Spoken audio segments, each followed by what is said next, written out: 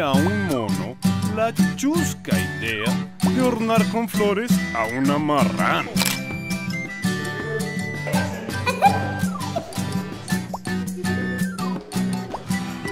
Amigo, venga usted conmigo, visitemos juntos a Doña Ratona y ahora a Francachela